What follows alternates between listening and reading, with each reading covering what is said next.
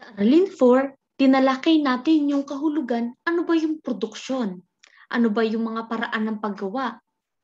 Ano ba yung mga salik na produksyon? Sa Aralin 5 naman, tatalakayin natin ano ba yung pagkonsumo kasi yung dalawang ideyang ito o dalawang konsepto na ito ay laging magkaugnay. Ano, ang pagkonsumo ay tumutukoy sa paggamit ng mga produkto at serbisyo upang matugunan ang mga pangangailangan ng mga tao. Samantalang ang produksyon naman ay ang paglikha ng mga produkto at serbisyo para matugunan ang mga pangangailangan ng tao. So, sila ay parehong nakafocus sa dalawang gawain sa mga produkto at serbisyo na kailangan ng tao. Kung hindi naman lilikha ng mga produkto, hindi matutugunan ng tao ang kanilang pangangailangan. Kaya ang pagkonsumo ay hindi na mahihiwalay sa produksyon. Madalas na sinasabi nga na walang pagkonsumo, wala ring produksyon. Ang pag-unlad ng produksyon ay pag-unlad din ng pagkonsumo. Ang dalawang gawain ito ay naglalarawan ng kalagayan ng ekonomiya ng bansa. Subalit, ano ba ang kahulugan ng pagkonsumo? So, iisa-isahin natin yan dito sa ating aralin 5. So ano ba pag sinabi nating pagkonsumo, anong kahulugan nito? Ito ay tumutukoy sa paggamit ng mga produkto at serbisyo upang matugunan ang mga pangangailangan o ating pangangailangan at magkaroon tayo ng kasiyahan sapagkat natugunan yung ating kagustuhan. Yan. Meron tayong apat na uri ng pagkonsumo. Yung produktibo, tuwiran, mapanganib, at maaksaya. So isa-isahin po natin yung mga uri ng pagkonsumo. Ang produktibo, ito ay pagbili ng mga produkto upang makalikha ng iba pang produkto. So halimbawa, yung larawan na inilagay ko sa ating presentation.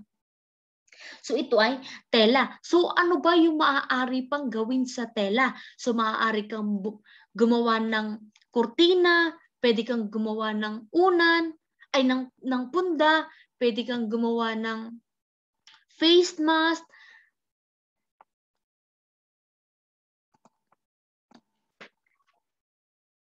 o dun sa uri ng produkto na diniscuss natin sa lesson 4, ito yung mga producers good. Ano, so bibili ka ng produkto upang makalikha ka ng iba pang produkto. And then, pangalawa naman is yung tuwiran. So, sa discuss natin sa ating lesson 4, ito yung consumer goods. So, ito ay uri ng pagkonsumo na kung saan matatamo ka agad ng individual ang kasiyahan sa pagbili at paggamit ng produkto at serbisyo. So ano yung mga halimbawa nito? So pagbili mo ng mga pagkain, ng mga personal use, mga appliances, yung pag binili mo yung produkto, natugunan ka agad yung pangangailangan mo. So, hindi mo siya pwedeng gamit, yung bibili ka ng produkto, nasasagot halimbawa ay mga gadgets, ano, yun sasagot ka agad dun sa gusto mo dun sa kailangan mo na produkto. So, yun yung magagamit mo kaagad, hindi yung produkto na gagawin mong iba pang produkto. Ano? So, ito ay direktang produkto na direktang sasagot sa iyong kagustuhan at pangangailangan. Next is yung mapanganib. So ano naman yung uri ng pagkonsumo na mapanganib? So ito ay pagbili ng mga pag at paggamit ng mga produkto na nakapans nakakapansala sa kalusugan ng isang tao. So yan yung mga example, mga illegal drugs and mga sigarilyo, ano. And then sa mga aksaya naman, pagbili ng mga produkto na hindi tumutugon sa pangangailangan ng tao. So ibig sabihin, siya ay tutugon sa kagustuhan ng tao, do sa luho ng tao. So, halimbawa nito yung mga mamahaling alahas, mamahaling sasakyan. So, hindi naman siya totaling pangangailangan ng tao para mabuhay, gusto o luho lamang ito ng isang tao. Naiiba ang ating mga produkto na kinukonsumo depende sa mga sitwasyon. Minsan naiiba ang dami ng produkto na ating binibili, naiiba ang mga brand na binibili o minsan nagbabago tayo ng taste sa isang produkto. Ito ay dahil may iba't ibang salik na nakakaapekto sa ating pagkonsumo. Ano at ang ilan dito ay yung mga sumusunod. So maaaring sa pag-aanunsyo, maaapektuhan yung ating pagbili ng produkto sa pagpapahalaga ng tao, panggagaya, kita, okasyon, at presyo. So isa-isahin po natin yung mga salik na nakakaapekto sa pagkonsumo ng produkto ng isang tao. Unahin na natin yung pag-aanunsyo. Sa pag-aanunsyo, ang pag-aanunsyo ay pagbibigay ng impormasyon upang hikayatin ang mga tao na tangkilikin yung isang produkto o serbisyo. Sa pamamagitan ng mga magagandang salita, ginagamit na ginagamit sa pag-aanunsyo ay nakakakuha ng interest at atensyon ng tao na bilhin ang isang produkto. And sa tulong din ng pag-aanunsyo ay nadaragdagan ang dami ng bibili ng produkto. At meron itong iba't ibang kamaraan na ginagamit sa pag-anunsyo. Yung mga uri ng pag-anunsyo. Ano? So halimbawa na lamang is yung bandwagon. So dito, pinapakita yung dami ng tao na tumatangkilig sa kanilang produkto. So yun yung tinatawag nating bandwagon. Next is testimonial, pag-endorse pag ng mga produkto ng mga kilalang personalidad upang hikayatin at takitin ng mga tao na gamitin at bilhin ang isang produkto. Yun yung testimonial, paggagamit ng mga kilal paggamit ng kilalang personalidad upang hikayat, hikayatin ang mga tao na bumili ng isang produkto. And then, yung brand name itself. So ito ay pagpapakilala ng mga produkto batay sa katangian at kabutihang dulot ng paggamit at pagbili nito. Next is yung pagpapahalaga ng tao. So dito, ang tao ay nagpapahalaga sa pagtitipid. So halimbawa yung pagtitipid. So ang tao ay nagtitimbang-timbang muna ng mga bagay bago ito bilhin. Higit na prioridad ng mga tao ang pagbili ng mga pangunahing pangangailangan kaysa sa mga luho ng tao. Kaysa sa mga luho niya. So sinisigurado niya na magiging kapaki, pakinabang ang mga produktong bibilhin ng kanyang pera na kanyang pinagpaguran. Ano? And then, the third one, is yung kita. So habang lumalaki ang kita ng tao, ay lumalaki rin ang kanyang kakayahan na kumonsumo ng isang produkto. And ayon nga kay John Maynard Keynes sa kanyang libro na General Theory of Employment, Interest and Money, so malaki ang kita ng isang tao, malaki ang epekto ng kita ng isang tao sa kanyang pagkonsumo ng iba't ibang So halimbawa na lamang nito is yung iyong pagkonsumo ng pangunahing pangangailangan. Halimbawa na lamang is bigas. So kung halimbawa, kung noon ikaw ay nakabibili lamang ng 10 kilong bigas sa iyong sahod o sa iyong kita, pag halimbawa at lumaki yung iyong kita, so pwede ka na makabili ng 20 kilos or isang sako o pwede rin na isang sakong bigas. So yun yung magiging epekto ano sa pagkonsumo pagkonsumo mo ng produktong bigas.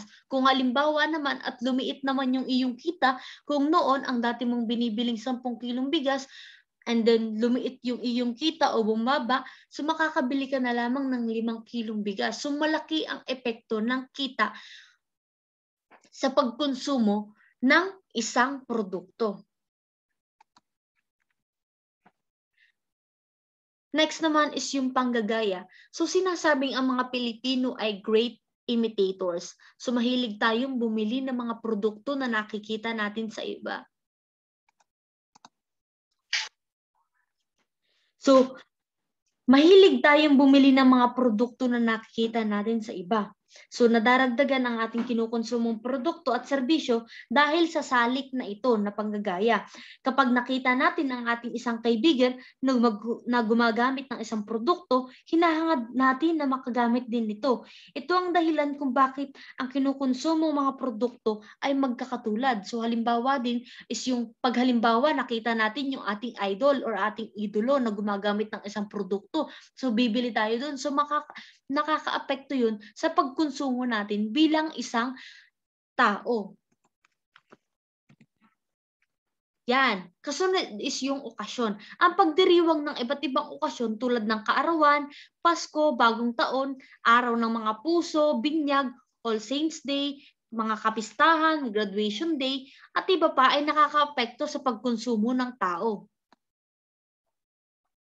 dumarami ang mga produktong binibili ng mga tao kapag dumarating ang mga iba't ibang okasyon. So, Gayon din yung mga iba't ibang serbisyo. Ano, sumaging sa serbisyo na tulad ng spa, massage, beauty parlor, fitness gym at iba pa, ay tumataas din ang pagkonsumo ng mga tao dahil maraming tao ang nagpapaganda at nag-aayos kapag may darating yun ng mga okasyon. Kasunod, presyo ng produkto. Ang presyo ay ang halaga na katumbas ng isang produkto o serbisyo. Ito ang unang ilaalam ng tao kung gustong bilhin ang produkto at serbisyo. Inaayon nila sa kanilang budget kung kayang bilhin ang isang produkto batay sa presyo nito, ang pagkakaroon din ng mga sales and discount ay nagpapasigla sa pagkonsumo ng mga produkto at serbisyo. So kung halimbawa, yung isang yung isang bag na noon ay 225 and then nag nagkaroon siya ng sale or nag-sale siya, ano, so mas dumarami yung nagkukonsumo ng bagay na iyon. Kasi bumababa yung presyo nito. And then, pag tumataas naman yung presyo ng isang produkto, mas kukunti yung kukonsumo ng produktong ito. So yun lamang po yung cover ng ating lesson 5 sa Aralin 9 sa Araling Panlipunan, grade 9. So maaari na pong sagutan ng ating activity point 5.1, 5.2, pagtataya at reflection.